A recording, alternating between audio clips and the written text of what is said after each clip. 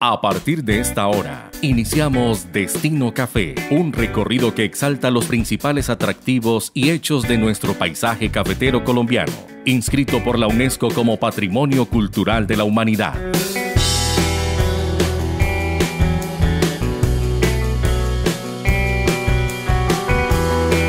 Cordial saludo amigos de Vecino Café, qué bueno estar nuevamente con ustedes en esta cita de todos los fines de semana compartiendo con ustedes aquí los encantos que tiene nuestro paisaje cultural cafetero, los hechos que son noticia a través de nuestra edición impresa, redes digitales e igualmente a través de este programa. Hoy estamos en un sitio que huele a café, tiene aroma de café, que es la sede de la institucionalidad cafetera aquí en el departamento de Risaralda y que tiene Angelita una sede realmente de encanto, ¿no? ¿Dónde nos encontramos? ¿Qué tal?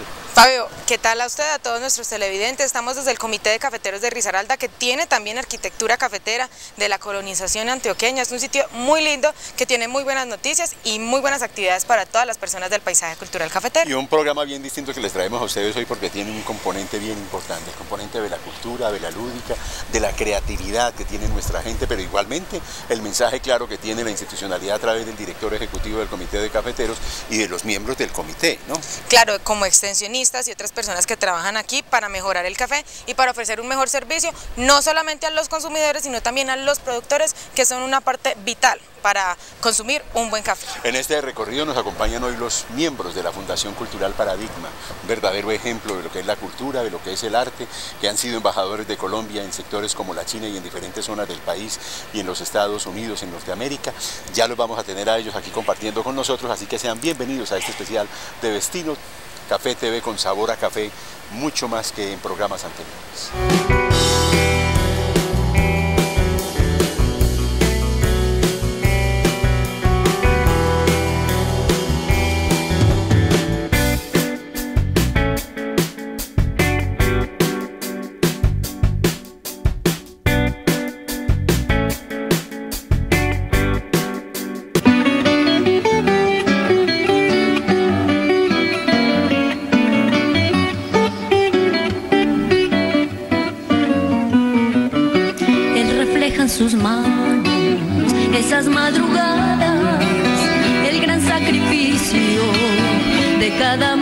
Bien amigos de Vecino Café, les contábamos al inicio de nuestro programa que es un programa muy especial este que tenemos hoy.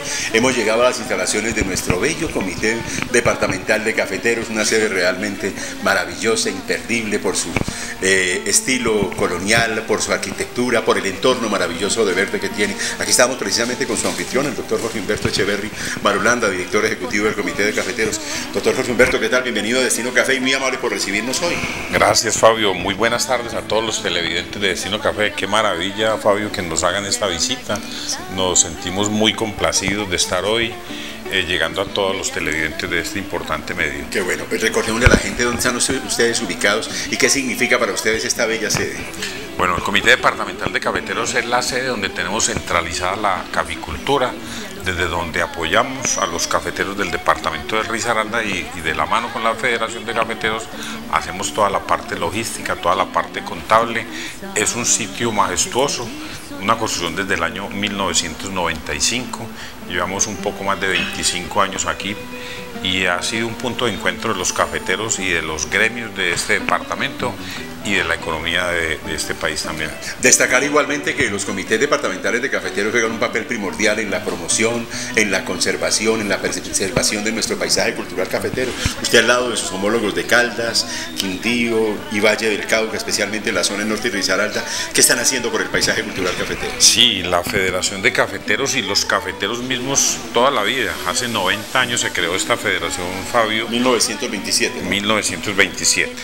Y, y, hace 90 años venimos eh, aportándole a, al paisaje cultural cafetero. De hecho, la misma arquitectura que genera el caficultor, su entorno hace parte del paisaje cultural cafetero.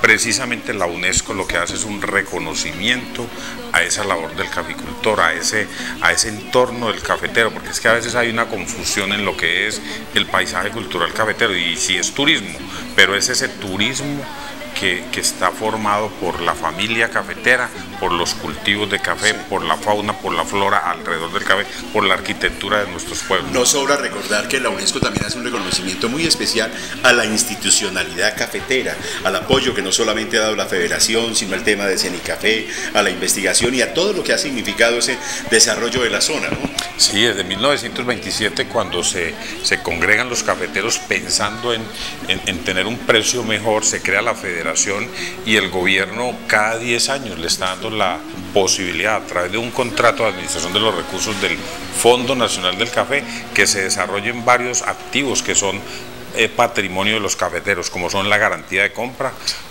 como usted lo decía Fabio, eh, el tema de la, de la investigación a través de Cenicafé, el servicio de extensión y la promoción de nuestra marca Juan Valdés. Ah, Ese es cierto tema que yo iba ahí, Juan Valdés y Risaralda Diversidad de Perfiles. Ah, vea, llegó la familia cafetera. Doña Genoveva, ¿cómo le ha ido? Qué gusto en verla, ¿qué ha hecho? Ay, ¿cuándo va a volver allá a la finca a comerse ese sancochito Qué tan bueno, rico? no he vuelto, tengo que volver Doña Genoveva por allá. Ay, a mí no me ¿Cómo le ha ido? pues, Ah, ah, eh, ah, ¿qué eh, más, hombre, Fabito, ¿cómo le va?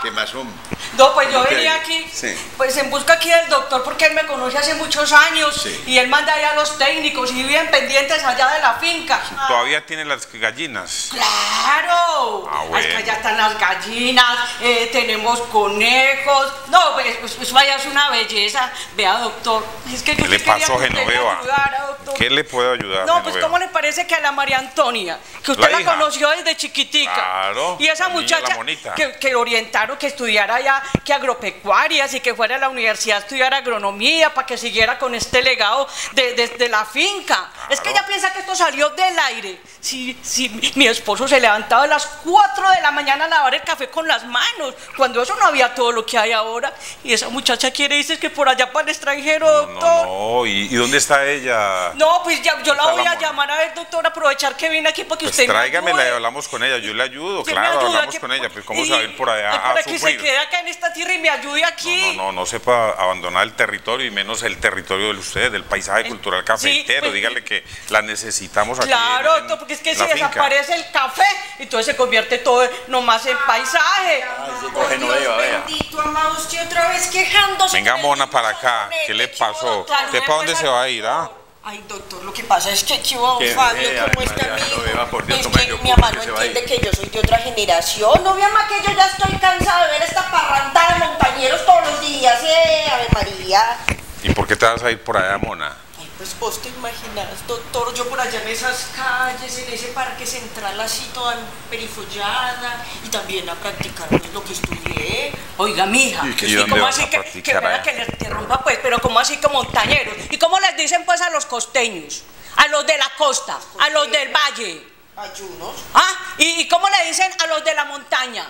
pues montañeros. Montañeros a mucho honor, mija, y saco pecho. Nosotros honor. somos de estas montañas, de estos aires puros. ¿Cierto, doctor? Totalmente de acuerdo, Mona. ¿Y por qué se va a ir por allá a sufrir? ¿Usted sabe lo que le pasa cuando uno se va por allá a otro país que no es el de uno? No, doctor. Pues, No. ¿Y hacer qué? ¿A que lavar platos por ¿Qué vas allá? a ir a hacer por allá? Pues a ver si encuentro donde practicar la agronomía que yo, que yo estudié. Y además, doctor, usted se imagina uno allá cayendo la nieve y uno pescando copitos de nieve con la lengua así, vea. ¿Cómo le parece? Despabilada, pues para nieve tenemos acá el Nevado del, del Ruiz, el Santa Isabel, el del Quindío, nieve también tenemos por aquí. Doctor. Bueno, ¿y por qué no te pones a, con tu papá y tu mamá a sacar esa finca adelante mejor? Sí, ¿usted cree que no se puede Claro, y aquí los apoyamos. Queremos que muchos jóvenes como tú cojan las banderas de los padres. Eso se llama el empalme generacional. generacional, empalme. Ay, Empalme porque es conocer lo que tu mamá sabe y tu papá y que tú lo adquieras. Y, y ya tú que tienes, tú sabes manejar computador. Claro, Claro, mira, una forma de que desde, de- desde la finca puedas conectarte con otros jóvenes que te van a comprar el café y es relacionarte. Esa será una forma, que viajes al exterior algún día, pero a vender tu café, no a ir a lavar platos. Ay, bueno, doctor, qué idea tan buena. Entonces yo sí me quedo. Y si hay apoyo del sí, comité de cafeteros. Totalmente. Sí, Tenemos, Fabio, en Risaralda 1100 jóvenes con cédula cafetera. Queremos que en las próximas elecciones cafeteras participen. Tú puedes postularte para Ay, montar una bueno. plancha con tus amigos de jóvenes cafeteros para que ahora en septiembre, el 8 y 9 de septiembre, que hay elecciones cafeteras, hagas parte de tu comité municipal en Pereira. Qué bueno tener una Ay, joven qué como tú. bueno, doctor, oiga, esas ideas tan buenas, además yo no me las conocía. Vamos a matricularnos. Sí, sí, mija, por eso yo quería traerla aquí donde el doctor Echeverry, porque es que él tiene el conocimiento, mija, y es que nos han ayudado mucho allá en la finca, y, y además nosotros de, de tecnología no sabemos nada. Claro, yo sí, sí. Claro, Claro. mija. Entonces me voy a empapar del cuento venga, llamo a... Y ahora, y ahora te invito al laboratorio para que veas que hay unos jóvenes catando café, para que veas que el café no solamente es en el palo, es en un laboratorio, es en un computador donde va a tener la posibilidad de venderlo, pero tienes que ayudarle, conocer lo que tu, tu mamá aprendió y tu papá, y eso volverlo platica. ¿Cómo Ay, lo vuelves claro. platica? Pone un buen café, ¿sí o no? Vea, doctor, llegó Muchas otro, mie- gracias, doctor. llegó otro bueno. miembro de la familia. Ah, Viene- Ángela Ángela María. Ángela María. ¿Ah? ¿Cómo Angelita, está de grande esta muchacha? ah? Ah, Ángela María. Hola. ¿Cómo estás? Muy bien, hola. ¿Qué has hecho? Muy bien. Pues Angelita, ¿cómo va? ¿Cómo va la música? Sí. Yo amo a los campesinos y por eso yo escribí una canción. Una canción para- Parte de la cultura también del Total, país. claro. Ay, cantanos un pedacito más lindo, canta. Bueno. Él refleja en sus manos esas madrugadas, el gran sacrificio de cada mañana al sembrar con amor en tierra sagrada, cosechando paz con semillas del alma. Forja con tesón las palabras sabias que resaltan la casta de esta patria amada. Lleva una guitarra para cantarle a sus plantas bellas melodías mientras que descansa. Y así es la vida del campesino, viejo querido, confidente amigo, que dibuja con su presencia los cafetales que ha cegado la vida de otros entre disparos no le quita la esperanza de seguir soñando.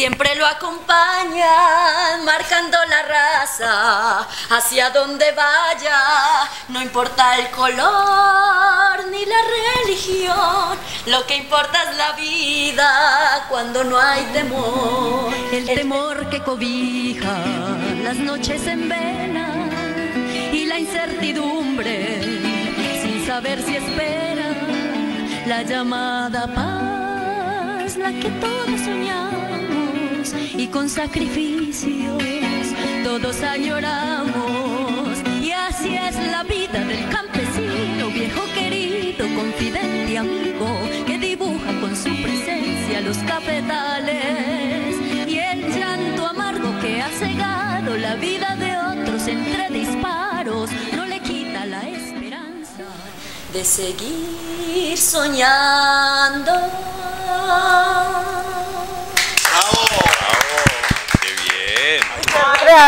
Sí, ve. que en valores, es, es que- es que eso es lo que yo le digo a María Antonia, todo nuestro esfuerzo. Eso es lo que me dijo el doctor, yo llamo a quedar a trabajar acá. Vamos a ir al laboratorio a ver esos muchachos tan avispados. Y vamos a mensajes importantes y ya retornamos aquí en Destino Café en esta visita muy especial con la familia de Genoveva que estamos haciendo en el Comité de Cafeteros. Doctor José Humberto, muy amable por recibirnos. Fabio, muchas gracias a ustedes. Qué maravilla la voz de esta Muchas niña. Cosa, y la pusimos a estudiar La- también. igual a la abuela, ¿no? Igual, igual. La abuela cantaba igualito. María, ya volvemos con ustedes. La vida de otros entre disparos no le quita la de seguir soñando.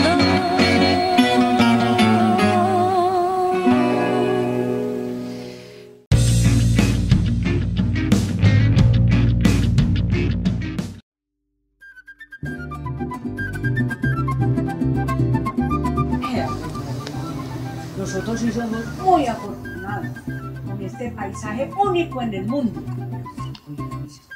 Por eso es que fuimos declarados por la UNESCO Patrimonio Cultural de la Humanidad. ¿A qué opina, mija? ¡Qué belleza! Ah, es que claro que sí, doña Genoveva. Es que es más, somos 47 municipios y más de 411 veredas, dándole toda esta región, mire, dándole cultura, dándole arquitectura, dándole café, el mejor café de Colombia y del mundo. Claro que se llama. Y vea, mami, a este señor Fabio Castaño, esta revista tan hermosa que hace. Travel Destino Café. En esta revista promueve los caficultores, todos los productores de cultivos de nuestra región. Mamá, esto es una cosa muy hermosa. Muchas gracias, Fabio Castaño. Y salud por Travel Destino Café. salud, mija. Dios bendito. Ay, guaco. Deja de serme los perros, guaco. Córrete más para allá, ¿eh? Ah, Esto pero estás como manilargo, mijo. 17 hectáreas de café me les va a decir que no. Pero vos sí tenés plátano sembrado en la finca o no. Puro plátano hartón. Ay, eso sí me gusta, guaco. Eh, Otra tacita pues de café, doña Genoveva, pues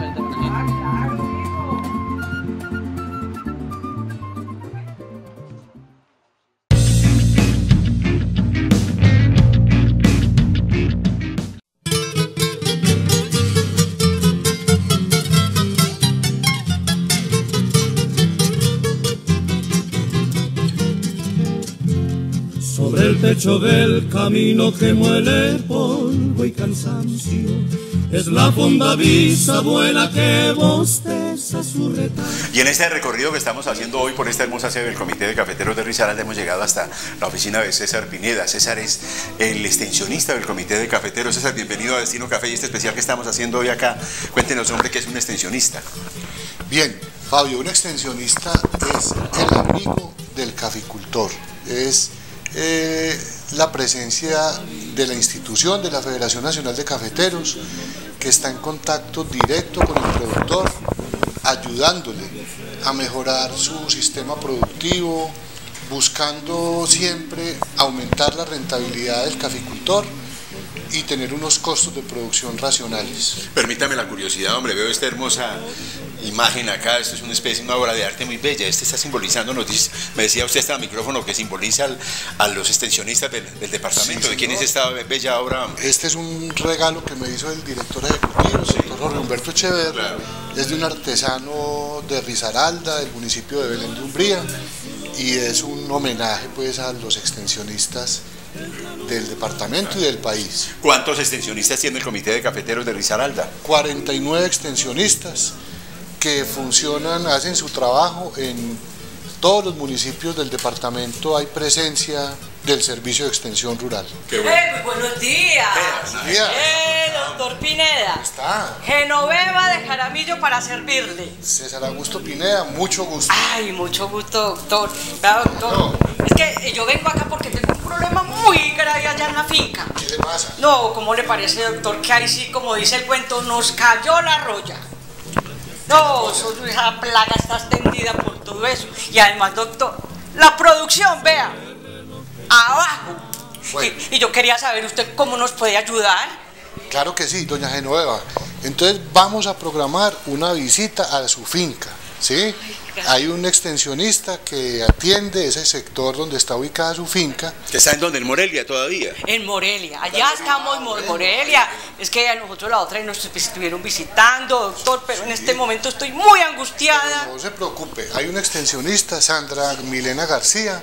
Con ella programamos la visita y hay una solución para su problema. CENICAFé, que es el Centro Nacional de Investigaciones del Café, ha trabajado y ha entregado a la caficultura unas variedades de, de café a las que no les da roya, Ay, no se enferman de roya. sí, es una pero muy buena noticia, doctor. Bueno, y además el comité ofrece programas donde le podemos ayudar con el colino de café, se lo podemos subsidiar. Usted da una platica y nosotros damos otra. ¿Qué? Claro. Ay, doctor, vea, es que María Antonia. ¿Qué Es que vea. chivo, doctor, Está. bien. Mucho ¿Qué más, gusto. doctor? Mucho gusto, le presento a mi gallo. Ave María, muy bien, muy bonito. Doctor, ¿qué, qué otros programas tienen ustedes? Y contame eso de que es un extensionista, doctor. Bueno, el programa, los programas del Servicio de Extensión Rural son básicamente hacer transferencia de tecnología a los caficultores y llevar los programas, eh, llevarle los programas que son financiados o bien con recursos del Fondo Nacional del Café o de cooperantes privados o públicos. Se le llevan los beneficios al caficultor y el, el principal foco de trabajo nuestro es buscar la mayor rentabilidad para los caficultores. Ahí eso la está mayor muy rentabilidad. bueno, ¿cierto? ¿Y qué tiene que hacer uno entonces para acercarse ahí y poder acceder a esos programas tan buenos? ¿Y hay que pagar adicionalmente alguna suma o no? No, no hay que pagar, es un bien público que la federación le entrega a los caficultores, que son los dueños de la misma empresa. No hay que pagar. Todos los cafeteros del departamento, que son más de 19 mil, en sus zonas tienen asignado un técnico, un extensionista. Entonces, para pedir una visita a la finca, simplemente es acercarse al comité y solicitar que le agenden, le programen una visita. Y con mucho gusto nosotros hacemos amiga, si ve que si hay esperanza, amiga. Claro que sí. Ve, aquí está la respuesta a todos esos problemas que tenemos allá en la finca, con todos sus cafetales que he estado tan angustiada. Su mamá está muy preocupada porque dice que tiene muy baja producción y eso puede tener o tiene mejor muchas causas. La mejor manera de identificar qué es lo que pasa es yendo a la finca, mirando las variedades, las edades de los cultivos, cómo está abonando doña Genoveva esos cafetales, si sí los está abonando bien o no. Y para eso está el servicio de extensión rural. Ay, bueno, mamá, entonces vamos a pedir la cita con el técnico, Vamos. ¿cierto? Ay, mija, y preparamos un sancocho de gallina bien bueno, de gallina criolla, para recibir a los de la Pero, pero me invitan a mí también. Claro, que sí, doctor lo Pineda, esperamos. lo Muchas esperamos. gracias, mijo. gusto. Ay, doctor Pineda, usted me ha dado una esperanza tan grande. Oh, con mucho gusto, eh, para eso estamos. Doctor, ¿me permite que le dé un abrazo? Ay, gracias, doctor. Gracias, doctor. Ay, me voy feliz, me voy feliz. Y nosotros nos vamos ahora para otro punto, gracias a César Pineda, a un laboratorio muy especial que tiene este lugar con nuestra compañera Angelita Morales y esta familia de Genoveva que se ha tomado hoy el, el Comité de Cafeteros de Risaralda. viejo aguardiente triple y dado sobre el terrón de mi patria.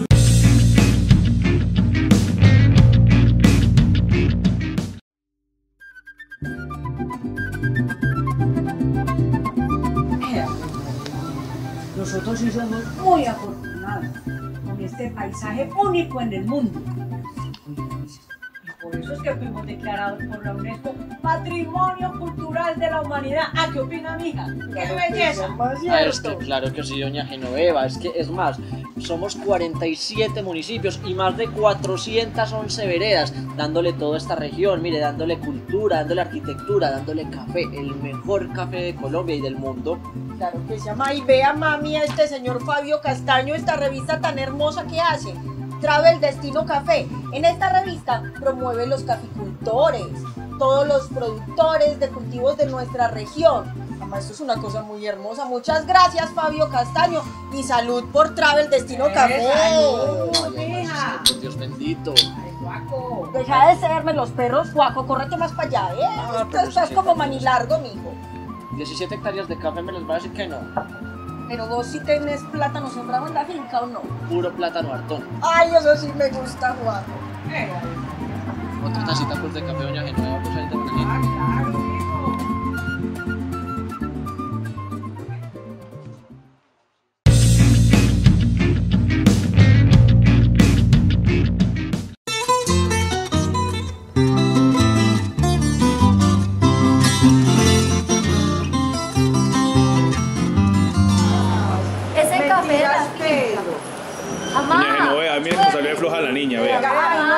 muchacha solamente Ayúdeme, hija. no espere, suelte, suelte a Maxi, usted no puede hacer fuerza porque. Es que, más vea, grande. trajimos este café porque acá en el comité tienen un servicio que es que vean, nos lo trillan, nos lo tuestan. tuestan, lo muelen y lo entregan así empacadito para que nosotros le pongamos la marca. Dígame si no es muy buen negocio uno tener su propio café bien bueno para vender. Café de origen se llama. Vamos pues. Campesino alegre de machete y alpargatas. Ay, A mí me puede traer ese señor para cerrar ese, ese laboratorio porque Jamás he sentido tristeza porque nací en una tierra siente alegría debajo de las Padre bonito también. No, mira, como cuando yo le venga, usted no me pasa nada. María Antonia. Y mi hija menor, Ana María. Es que tiene Ángela María. Se. ¿Por qué me cambia el nombre? Mamá. Iguana blanca, rabo de gallo y tipicapa Jamás he sentido tristeza porque nací en una tierra Eso, entonces vamos a entrar al laboratorio que tienen aquí en el Comité de Cafeteros de Risaralda, ¿cierto? ¿Cierto? Ay, sí, Ay, qué emoción Y un corazón para templarlo Y con ellos por el mundo voy siempre alegre cantando Mientras yo tenga ese tiple y un corazón para templarlo Lisa, una pregunta, hermanita. O sea que uno trae acá su cafecito de la finca y ustedes le ayudan a decirle a uno, este café es tipo tal, tiene un aroma tal, así de esta, ta, ta, ¿cierto? Así es. Ay, qué. Bueno, vamos a traer el café. Vamos a traer. Ustedes traen una muestra así en pergamino. La muestra debe estar en un porcentaje de humedad entre 10 y 8%. Porque si está muy húmedo, el resultado no es muy certero.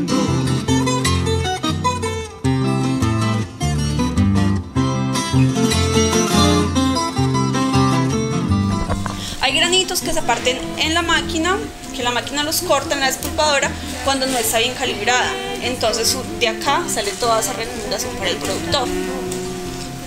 Y acá ya está pues como la muestra limpia, limpia sin defectos, como la pueden ver, bien bonita. Pero mija, hay que poner cuidado para traerla, así que no tengan que hacer ellos todo ese trabajo. mire. No, pero Tampoco. lo ideal, lo ideal, sí, lo ideal es Sí. que cuando traigan una muestra no se, es que no sea espacillada. Porque si no ya. se queda el resultado. Ya, ya, ya, es ya, ya, Saber ya cómo el, el estado real de la finca. Porque si no la limpia, pues claro, pues, para poder dar las indicaciones, las observaciones, las recomendaciones. Claro. Ya, Sí, ya entendí, ya entendí. Si acá no salen brocas porque la sacaron, pues uno dice, no, pues esa finca está perfecta de broca.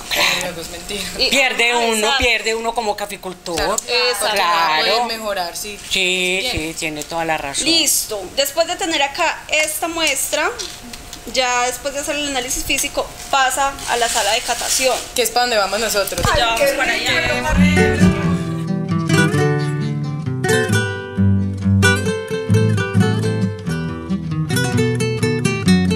Bueno, entonces esta es la sala de catación. Lo primero que uno debe tener en cuenta acá es que no debe estar perfumado, porque acá es donde nosotros estamos evaluando el café y todos los aromas que hay en el ambiente pueden interferir. El café es como, como una esponjita, él va absorbiendo todo lo que hay en el ambiente. Entonces si llega una persona con, con un perfume, con una crema y coge pues la, la taza de catación, el café absorbe ese aroma y lo contamina. Bueno, esa como recomendación. Después de tener la almendra verde, nos venimos para acá, para la tostadora. Acá ya tenemos las muestras. Acá voy a poner, a poner un bache de ensayo solamente.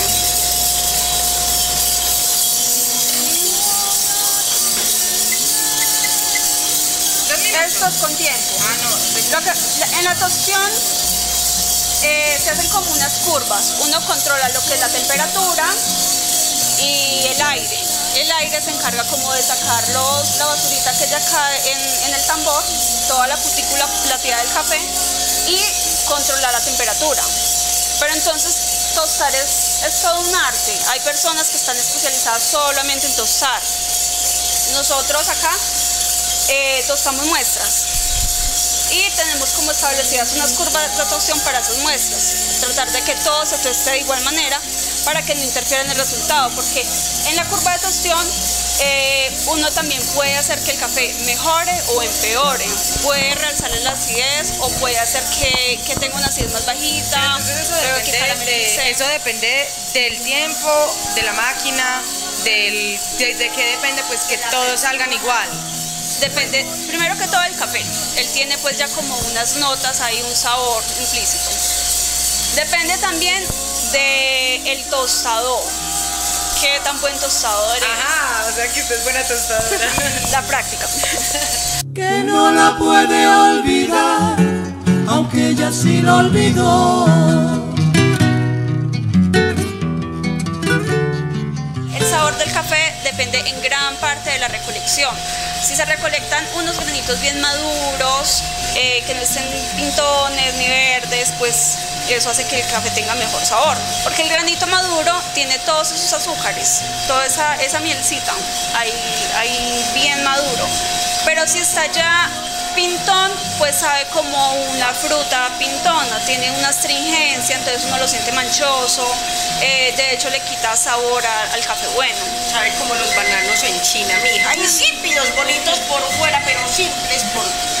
Que la clave está en la recolección. Sí, la recolección es súper importante. Yo, mija. Poner cuidado. Su cantar sin mujer y sin bohío.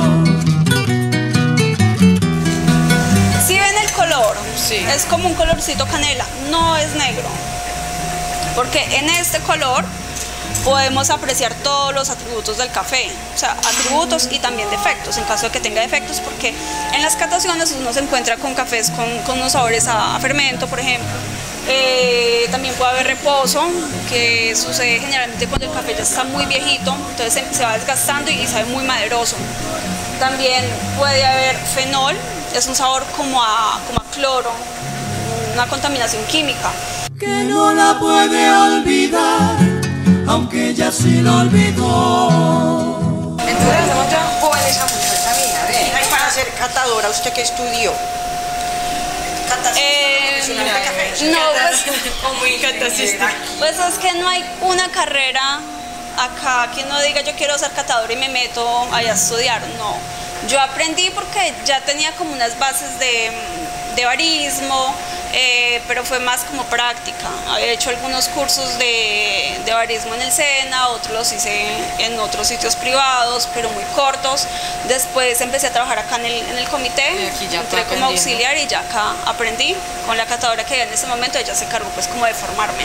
Entonces, niñas, ¿qué tal esta explicación tan interesante? No, catemos, catemos. Vean, no, y a mí me interesaba mucho pues que, que María Antonia y Ángela María estuvieran porque es que ellas son el presente y el futuro.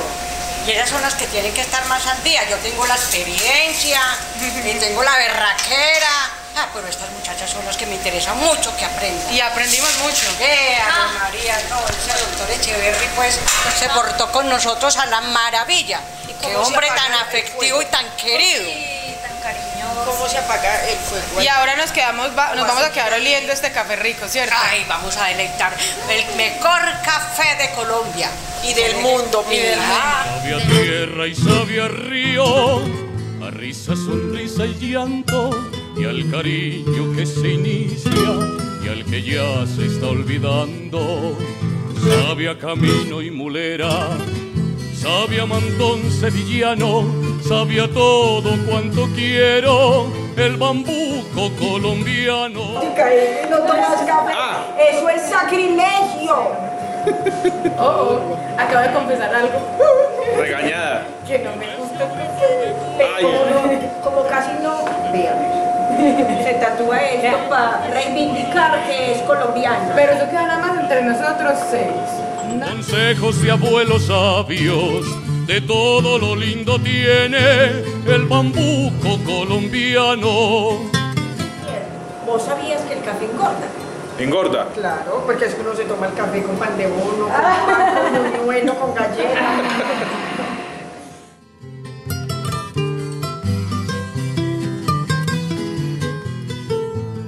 Por eso en mis Nosotros brindamos al café. el mejor café del Cafecito, mundo. color canela, cafecito, cafecito. Pues así sabe café. Café. grita el corazón del bambuco soy paisano. Vamos a brindar pues algo, pues el. Ay, ay, ay, ya me lo tomé. Que sea un motivo, que sea un motivo. Sazón de frutas maduras, consejos de abuelos sabios, de todo lo lindo tiene el bambuco colombiano.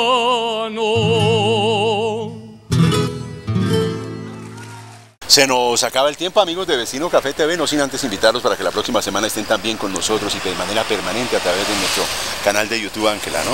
Claro, y también a través de nuestras redes sociales como Facebook, Instagram y nuestro canal de YouTube que tiene siempre todas las notas que les publicamos a ustedes semana tras semana. Que la pasen bien. La cita es la próxima semana, en este mismo día y hora, en Destino Café. Un recorrido que exalta los principales atractivos y hechos de nuestro paisaje cafetero colombiano, inscrito por la UNESCO como Patrimonio Cultural de la Humanidad.